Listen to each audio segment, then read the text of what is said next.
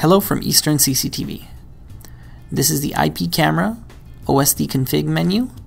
In this video, we will be going over the network config and advanced config. Under network port config, we can change our HTTP ports and our data ports. Our RTSP port is also listed here, but it can only be changed from the RTSP function menu. Under IP address, we can change the camera to obtain an IP address automatically or we can make it a static IP address.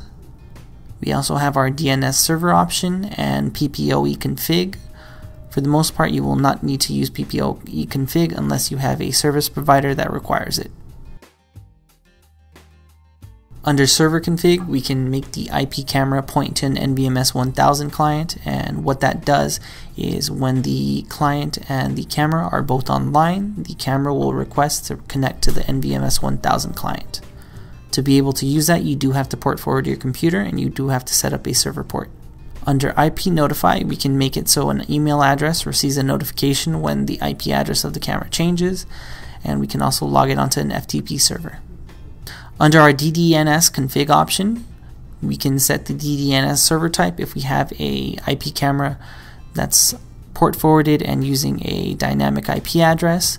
If you do want to use the easterndns.com service, you are going to want to change it to Mint DNS. Under server address, you will fill out www.easterndns.com and the rest will be filled out as normal with your username, password, and domain.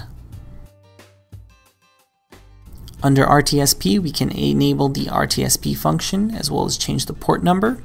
And as you see on the bottom, we can enable anonymous login to allow people to log into the RTSP address without requiring a password or username.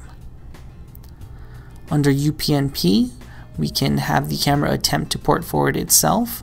Keep in mind, most routers by default do not come with UPnP enabled, so if you want to use this function, you will have to enable it first.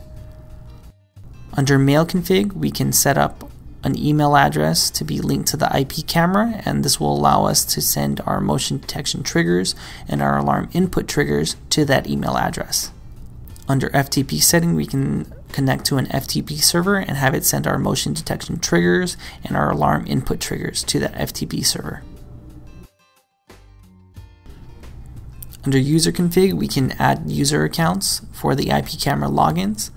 We can have normal users, advanced users, and admin users. We can also bind MAC addresses to those accounts so when that account logs in, it has to be from a certain device. Under security config, we can set up blacklists and whitelists for IP addresses as well as MAC addresses.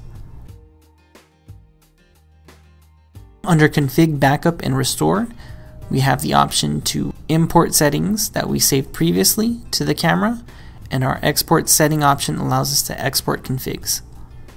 The load default button will factory reset the camera.